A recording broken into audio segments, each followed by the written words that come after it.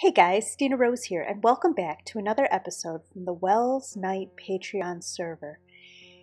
We are here on our island. As you can see, there's Jack's house in the background and our castle, along with a couple of mushrooms wandering around. Um, I have been doing a lot of grinding between episodes, been doing a lot of work with my villagers, uh, clearing out some area in my mines, uh, trying to find diamonds, you know, things like that. So that's been going on, lots of that. Also, if you notice behind me, I have three shulker boxes, and I want to show you what that's all about here in just a moment because Proteus and I went end raiding the other day. And, um, nope, too far. There we go. Proteus and I went end raiding the other day and had a very successful trip. Um, I got quite a bit of loot. And so these these three shulker boxes are full of what I managed to get from that raid. Now, I want to to say without Proteus, I would have died. I would have died very, very often, and I would have given up because I don't like combat, and uh, I don't like shulkers, and flying over the void scares me. But we did okay. And if you notice, there, I am still at zero deaths. So we're holding on. Um, came close a couple of times. Um, levitation is a bit scary. And at one point, I actually tried flying through a forest of chorus fruit. So that was, uh, yeah, that was not good almost experienced kinetic energy there, just didn't die. Anyway, let's take a look at what I've got. So as you can see, um, got a, one dragon head. Could have gotten more, but one was enough. Several elytra, a couple of stacks of shulker shells. Now, some of those shells, some of those shells I bought previously, so about about 36 of those, maybe 40 of those were ones that I already had. Um, and I kind of just put them in the box before realizing that I probably should have kept them separate for now, but that's okay. Got a few diamonds, got a whole bunch of helmets, um, lots of curses on these. So we've got Curse of Vanishing there, uh, Curse of Vanishing here, some good chest plates. I mean, that's that may end up being um, a chest plate for me in case I die and lose everything. But here, you know, Curse of Vanishing, lots of leggings, um, Curse of Vanishing, Curse of Binding, things like that. So, good gear in this. Um, more diamond gear here. Some diamond tools horse armor, uh, some emeralds, some iron iron gear, more iron gear and tools. Of course, the potions of healing, which are going to come in very handy. Some golden iron, you know, think just a few other things. Um, as you can see, I kind of organized my chest from the nicest stuff to the least nicest stuff. But uh, I'm going to grab two of these right now and four of these. And I'm going to make up a couple more shulker shells, shulker boxes, I should say. Um, because today, today we are going to get started on a project that I've been putting off for a little while. Finding reasons not to do the project. And that project, if we can get going here, is to work on the beanstalk. Okay, so I've left Angel's statue up, uh, added the dragon, um, the dragon that was inhabiting Jack's house here, um, removed the shulker box that was there, and then someone is borrowing my egg, but they're going to be returning it very soon. Um, is this the, yes, that's the box. So let's just put down this. and grab grab a bunch of this terracotta concrete. This might all fit in one. So what we're going to be doing is we're going to be building the beanstalk out of terracotta and concrete and concrete powder. Oh boy, we're going to have a bit of a thunderstorm sounds like. And we may even use some of this glazed terracotta. Not completely sure on that, but I wanted to have it just in case. So let's pick this up out of the water. Oh. Sand and gravel to make more concrete if I need it. Um, boy. Okay, so I made a storage room and I haven't completely gone through and put my chests together correctly yet. That will happen. I promise it will happen. It's just not happening right now. What are you guys doing back here? Oh. Where'd the... Okay. The stalks are gone. It can stop raining now. Ooh, getting lots of lag from this. Um, lots of lag.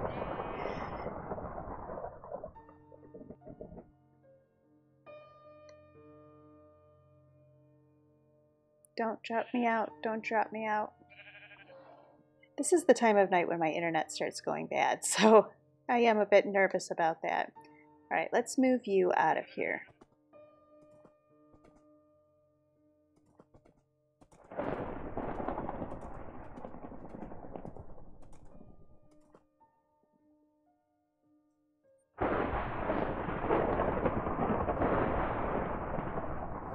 Come back here.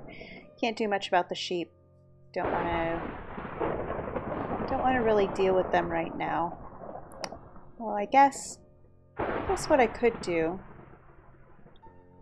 um, let's just go like this. We'll replant that seed.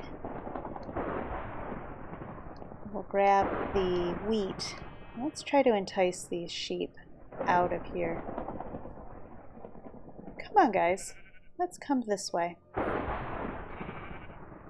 Come on. It's not that hard to walk. Come on, sheep. There's some good sheep.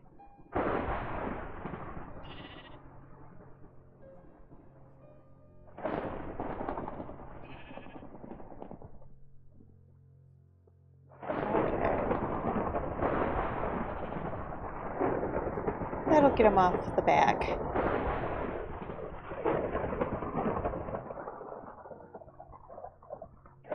Alright, let's plop down this shulker box here by the back door, which is open for reasons I don't know. And we'll get started. So I think what I'll do is I... Okay, that's green concrete. The green concrete should probably be back here. Um, start with the lime.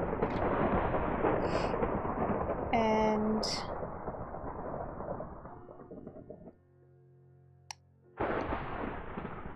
so this um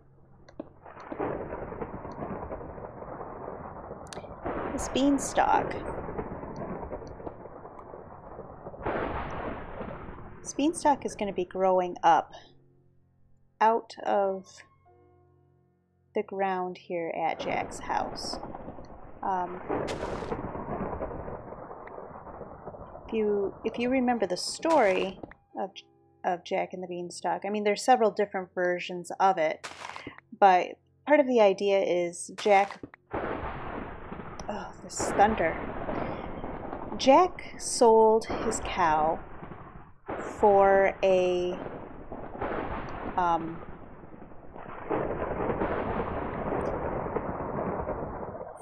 for a bunch of magic beans. not really the best uh, plan. I don't. I don't feel. I, I, think I would be kind of upset with my son. Um, if he sold my cow for magic beans, but you know that's a different story. Jack sold his his family's cow for magic beans, and um, one of the versions goes that his mother was quite upset and threw the magic beans out the window. And in the night, a great big beanstalk grew. So that's kind that's that's what this is going to be. This is going to be the great big beanstalk growing up out of the ground behind Jack's house. Now, I'm going to start it off with just a um, single color, but we're going to go around, we're going to add some texture variation to this. We're going to add different layers to it. Um, vine, my plan is to have vines growing up the, the edges of this and kind of twirling around it, coming off and adding a lot of interest. I also know that this is not going to go straight up. I've got it going quite straight right now. Please tell me I picked up more than that. No, I did not. Okay, well.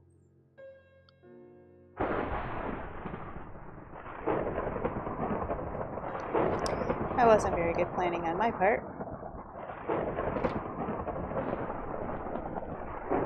Alright, can we see this from the outside, like the front yet?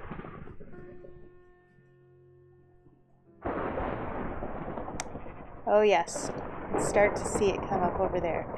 Okay, so this is going to be this is going to be a very tall build. Um, my plan for this is that it's going to go way up, um, not to building, not to the building limit because I want to put a giant's castle up there, but it's going to go way up into the sky, and then there's going to be kind of a cloud island up there with the with the giant's castle and things like that. So let me let me get some work done on this and and I'll be back with you in a few minutes.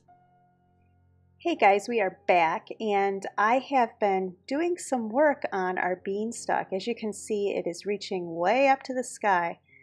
Now I have built this and torn this down and built it again um, I tried to go with something more organic at first, but yeah, I need more practice with organic builds. So basically, we're going to be um, doing something that that's more straight. And I think when I'm done with it, it'll look good. This is just the first layer. So let's get a little bit closer and I'll show you what I've done.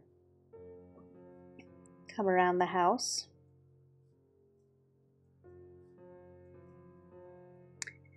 So we have a, a pillar of lime concrete powder up the center with this spiral, basically a spiral staircase of green concrete winding all the way up to, to the top of this pillar. Now currently the top of this pillar is sitting at 150. Um, I'm not sure if that's going to be the end of it or if we'll go higher. I want to make sure that I leave room to build the uh, cloud platform as well as the giant's home up, up there. So I don't want to go too high and then limit myself because of the build limit, but I think that this is a good start. So the next phase of this project is going to be adding the next layer. Um, there's going to be, the next layer is going to be of, let's see, Let's use lime terracotta. I think that sounds like a good option for the next layer. Yeah, I think lime terracotta will be will be what we need. Um, this layer, let's see. Let's break out this dirt block here. Kind of even this out a little bit. This needs to be grass. All right. So this layer Oh, I've lost the... It's no longer on my hotbar. Okay. This layer is going to start here. I should... Should I inset that? I might want to inset that into the ground. No. I'm still trying to figure out what I'm going to do here. So it goes there. There. Uh, there.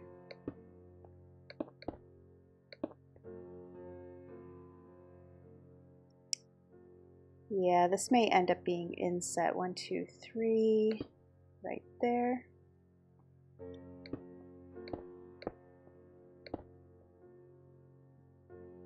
At least on that back portion.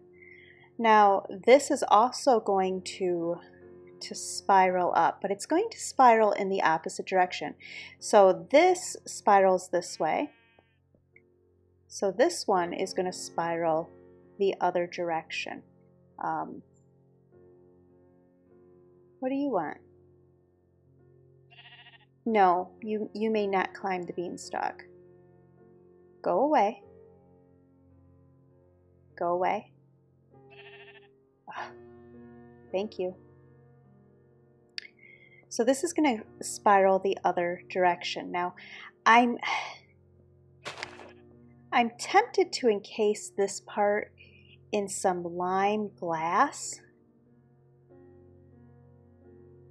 Or maybe I should build this so it snugs up next to it. I, I'm just not sure. Right now, this is kind of a death trap. um, I'm still sitting at zero, zero deaths here, and I kind of want to keep it that way. And I've built a death trap, so that's not a good, a wise decision. Um, hopefully I can stay alive building this. But let me, let me get some work done on this section and build this spiral all the way up, and I will see you in a little bit. All right, we're back, and as you can see, I have made some significant progress on this beanstalk. Um, I'm really enjoying the way that these spirals are, are coming around each other. Um, yeah, I landed on top of a mushroom to get a better look at this. It's not as dangerous as I thought it would be. Let's go take a look and see. Ouch! I forgot to engage the elytra. Whoops. Um, let's go take a look and see what I've been doing. So these spirals kind of work around each other. Um, if we come in here and look up, you can see there's not a lot of gaps that, that you can fall through and die. Now there is one here. So coming right here. And I, I think what I may do is in this spot, this spot, this spot, and this spot where where they have these holes straight up. I may put in a water chute right here um, to make coming down from the top easier. It's very circular and it is quite dizzying, but um, I like it. I, I like what's going on here. So as you can see, they kind of meet, they touch, even though these ones are going in that direction and this one is going in this direction. They do meet up every once in a while, giving you the option of changing the direction that you're heading so that you don't get quite so dizzy. And here, like you can change from the, the innermost one all the way out to the outermost one. And that's, I, I like that. I like that a lot. Um, so, as you can see, um, the center spiral is just one one staircase going around, uh, one loop. This middle one here has two, um, two twisting around together. And this outer one right now only has one, but that's just because I need to make some more green concrete and uh, and work on that. I'm debating on if I want to just do two of these or try to fit in four four might be really cool to put in together. Um, yeah. I'm not sure how that would work would look, but I think it might look really cool. We'll have to see. So let me get some green con more green concrete made and then I will do some more work here and bring you back in. Okay, there we have it. We have finished the four circles all the way up. Um, and that's all the way up to 150. The next thing that we would need to do is figure out if I'm going to try to add some leaves and things to make to give this more of an organic shape. I'm I, I like it. I like that it's I mean it's very circular, but I'm in water. but at the same time it is very uniform and I don't like that. So I'm going to I'm going to see what I can do about adding some variation in here, some character, maybe some vines coming out. I don't know how much of that I'm going to do. I yeah, I'm going to have to play around with it and see if I can make it look more organic. But I'm really pleased with the structure that we have going on here. And I like that it's not, um, it's not actually that dangerous. I, when I first started this and was working on the center column, this thing, it was quite dangerous. I mean, you're just going up and up and up in a very tight circle. But adding these outside bits, um, other than the fact I just fell off, adding these outside bits really cause it to feel safer. I mean, if you're if you fall off the edge, of course you're going to die. Um, but if you fall down into the center, you're just going to land on a platform lower than you, except for these spots right there. And that's where I said that I was thinking about putting a water drop in so that if you do end up falling straight down, there's somewhere to land. Still contemplating that, trying to figure out if that's what I want to do. So I, I'm really pleased with the progress so far. Um, it's quite it's quite a trek up to the top of this. See, like right here, um, yeah, you can drop here, but you're not going to fall to your death. You might take a little damage depending on how you land, but you're not going to fall to your death. Now, from the top, that's a completely different story. And um, going to have to figure out how I'm going to transition the top into the cloud and build the cloud and all of that good stuff. Now, the nice thing about this, this is still over the Mushroom Island which means no mobs are going to spawn on this uh, this vine, which is a really nice thing. But we're going to be building the cloud out that direction um, over top of the the ocean. So we're going to have to really think about spawn proofing it because I don't want I don't want a bunch of creepers blowing up my build up in the air. Um, that just seems like a, a recipe for disaster. Even if we're going to land into the ocean, if we fall, I don't care to die that way. I, I just don't. So here we are, we're up at the top. Now this is going to have to be, like I said, I've got to figure out how I'm going to incorporate this into the cloud. But as you can see, it is quite a distance down to Jack's house now. Um, the animals don't even render at this height.